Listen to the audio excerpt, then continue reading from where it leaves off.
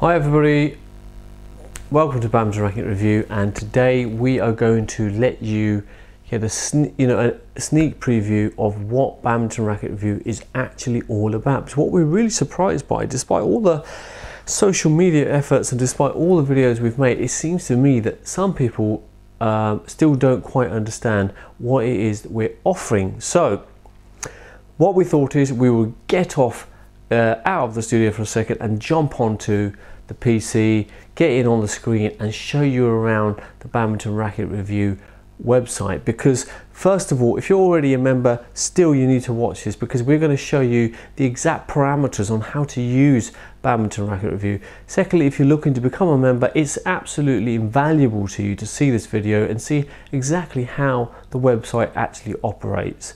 Um, before we go there there's three things there's one thing i want to say and that is when you're considering a badminton racket it's very important you as a player have some idea of three key factors. First of all, the balance of the racket. What balance do you prefer? I prefer to play with even balance rackets. Some people prefer to play with head heavy rackets and some people prefer them as head light as possible. You need to know what you prefer. Point two, what stiffness do you like to play with? The racket stiffness is also a, a crucial factor because Rackets that are really, really stiff are very hard to get good repulsion off for most players. And actually, if you're trying to smash with a very stiff racket, you're having to really force your arm around to get the flex uh, from the shaft. And that can start to cause injury, and that has done in many, many people. Tennis elbow is made a lot worse with rackets such as those. And finally, not as important as the first two, but still good to know what weight racket works for you this is an area that is more flexible. Some people could get a stiffer racket that's towards the head in terms of balance, but it's very light and therefore those parameters don't make take much effect. However, you take those same parameters, head heavy and stiff shaft, and throw them onto a 94 gram racket, and suddenly you start to feel a big difference in how you're playing with the racket and how you're feeling using the racket, how much repulsion you're getting from the shuttlecock. So the first one that uh, I think you've got to consider is balance point. The second is the shaft stiffness, and the third point is the overall weight of the racket. Try to figure that out. Try to know what works for you. That will help you a lot going into the badminton racket review E zone. Once you're in the E zone, we will talk you through that shortly, but then you've got to start thinking about what matters to you. Are you a smash crazy person? You're going to just look at the smash scores. No problem, the, the site has been set up to cater for that. Are you going to be looking for overall performance, something that gives you all round playability? Another thing worth considering before you hit the site. The last recommendation is try not to be too prejudgmental on the manufacturer or the range. Try not to be. Try to have an open mind and look at all rackets because you'll be surprised by how many great rackets there are that so many of us are simply not familiar with. Okay, that's enough of me talking. Now what we're going to do is we're going to jump onto my laptop and we're going to have a look at Badminton Racket Review. So here we are. This is the homepage of Badminton Racket Review uh, where we land and as we scroll down here the first thing I want to talk to you about is it tells you a lot about us what we've been through in our story. Rigorous testing really is just about the sort of testing that we do, which many of you are familiar with. How best to use a site really tells you about some of the stuff I've just mentioned in the video, understanding rackets and the dynamic of a racket. But all of these are available. If you go right down to the bottom here, you can see all of these here. And I would recommend taking a quick look, you know, at the racket guide, how to choose a racket, the rigorous testing and, and the racket uh, a badminton racket broken down into sections, although most of you will understand that already, still worth having a look. And over here we have our social media connections. Right, now we're a step ahead of you, but if you're coming in here, what you'll need to do is go to the Racket Review e-zone. You need to have signed up. And once you've signed up, it will take you back to the home screen. Then you press Racket Review e-zone again, and you will get this page. So find badminton rackets. Here it says find badminton rackets. And this is the quick results page made for people who want quick results. So we have a lot of top 10 segments all around performing rackets in the world. Top 10 best rackets for control, maneuver, smash, even smash, head heavy smash, medium stiff, most flexible. So there's loads of rackets. Um, there's, sorry, there's loads of top 10 options. And what these are designed to do, I'll just give you, uh, is you can pick any one of these by clicking on them.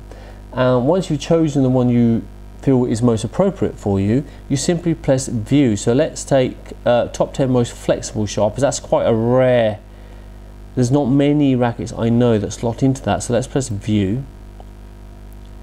Okay, and down here it says 12 rackets found, racket found 12 rackets. So here we have a list of those rackets and because it's showing 1 to 10 of overall 12 records, we know this is only showing 10 but there are 12 records. We just press that checkbox and go for either all actually for the sake of this video I'm just going to press all and that will now load up all of those results. So you can see here the results. So here we'll have the range name manufacturer the model reference what kind of player we feel it could be suitable for um, the maneuver speed shaft stiffness the overall racket weight the smash speed the balance point and control now and the overall score. What matters to you out of those? In the video earlier I mentioned that balance point is very important so we can click that and that will arrange the balance point, balance point in order as you can see here starting at 298 dropping all the way down to 312 or if you don't like it that way around you can do it the other way around so it starts higher a higher balance point and drops it down to the lowest balance point. You can do that for any of these. You can change the way the information appears just like you can in any Excel sheet. Right, so once you've got an idea, let's say we're going to go for our overall score here. So we're going to go for the 86, that's a pretty good score. Now to see more about this racket, you have to go here and you'll notice as I go across, the uh, mouse starts to show you the option of clicking, which a hand appears. See the hand appear there? Press that, and that will open a new page. And in that page, we have the Babolat Satellite Gravity 78G page, and this tells us all about the racket. So we've got a review here from somebody. So Nico Gebhardt is one of our members. He's written about what he thinks and he's given it a five-star review. Um, so here is our overall score. 86 I can tell you is very very high. Um, it tells you the weight. So this is with the string and grip. This is the manufacturer's spec. And this is ours. And it's very rare that they're exactly the same but that is exactly the same. It says it's medium flexible. We think it's flexible. This is the maneuver speed and smash speed score which they obviously do not give. Um, to understand this area better, uh, you have five categories which are total together to give us this score. The weight versus power is essentially the weight of the racket versus the smash score of the racket done in a ratio calculation which gives us a score. So this being so low in weight and yet giving quite a good smash speed gave it a very good score.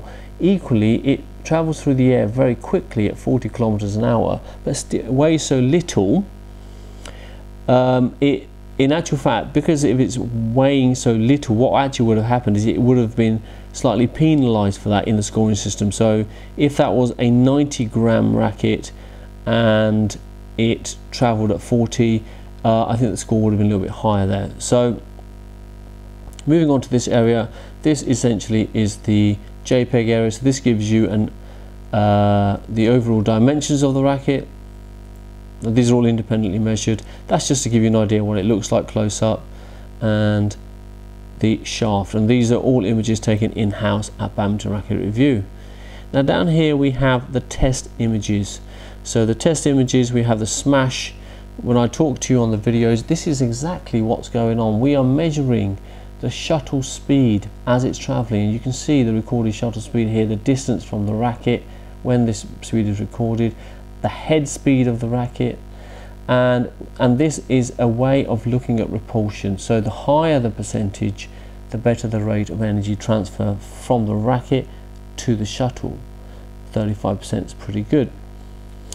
And these are all are basically JPEGs of the testing uh, so that you know we've actually done the testing and the results have been collaborated from this. This is the swing weight which is the closest piece of machinery that allows you to understand the feel of a racket. Right and here are the videos which you've seen on YouTube. So these are the smash, maneuver and control. Now these, this racket is one of the earlier rackets that we tested. What we've added now in the last seven, uh, 50 to 60 rackets is uh, an actual video. So we're going to go back to the racket review zone. I'm back here in the racket review e-zone. Now to see more than just the quick results and to see the full selection of rackets available in Badminton Racket Review, you have to press the filter the rackets tab. And here we get a range of options. So now you can toggle across for any of these, whatever suits your preference, you can toggle across and it will take that into consideration before it shows you a selection of rackets. And if you don't quite understand what this is, it actually has a little explanation in these information icons here. Okay. Right, so you can go by manufacturer. So uh, let's say looking at Kawasaki, we type in K-A-W or KA and Kawasaki and Karat come up. If it's, um, let me think, well, we just done Babolat, so we type in Babolat in manufacturer and you see Babolat appear. So you can choose any of those that you want. Now, if it's a range you're looking for, you can type in, uh, let's three, let's 3D, so the 3D break free will show up. Uh, what other ranges are there? You can see Voltric on the screen, you can see Nanoray on the screen already trying to think other ranges. Let's take Windstorm. So Windstorm there is, it shows up straight away. You press that and you press the yellow filter button. And the results, it says five rackets found. So here are the five Windstorm rackets that we have tested. And what we're going to do is, again, it's the same as I showed you before. You can, you can rearrange these however you want to rearrange them in whatever order. But to see this windstorm, I'm going to look at the 72 because I think this one has a review video. We press the leaning button on the left, that opens up a new page. And here we have the same kind of format. Uh, in the editor's note, we do sometimes put the grip size and the, the maximum recommended tension. But most importantly, here is the video detailing the review of this racket. So I'm just going to play that. I'm not sure how this is going to play back on another video. But if we just forward it a little bit. Um, there are some uh, manufacturers which sell this racket um, into the UK, but they are not UK based. Most of the Li Ning rackets do now have this but So we're talking a little bit about the buying the racket. If I move it forward a little bit more. Z Light, which are also super lightweight rackets that we've recently tested, but it's good. And if if you're a, and I know this is a, a real factor for people, if you're a manufacturer based person, i.e. you don't want to buy uh, a £50 Apacs racket because you're worried. Packs and, it, it's, and, I, and I know it's down to the fact it's manu manufactured by Li Ning because so you've got that assurance behind you. So it really depends how much that matters. I would prefer this racket over the FBs uh, so I think you'll get the impression from just watching that video that we talk in quite detail about the racket, its ability to smash, its ability to defend, its ability to drive, its ability to do overhead shots with, uh, control shots with. We really talk in great detail. We and when you take into consideration all of this information available just on one racket, it's why it takes us so long to update the rackets because there's so much we have to do to make this all work. But they literally can't we cannot think of more information that could be given to any one person on any racket. And and here you have the button which will take you to our racket sale site where we sell these rackets. And all of these are proper rackets. Um, it's not a very amazing site but it is real in terms of the rackets are real and uh, we are here to sell them. So I hope you enjoyed the tour of Badminton Racket Review. I hope you understand um, a little bit more about how to use Badminton Racket Review and the overall potential of Badminton Racket Review. Don't forget if you if you wanted to see you know all 600 rackets um, you could go by manufacturer you could you know there's so many different ways but the filtering system that we showed you the filter tab is so crucial to seeing more rackets than just the quick results tab. I hope that's made it clearer to you. I hope that's helped. Any questions do send us an email info at badmintonracketreview.co.uk thanks a lot. Have a nice day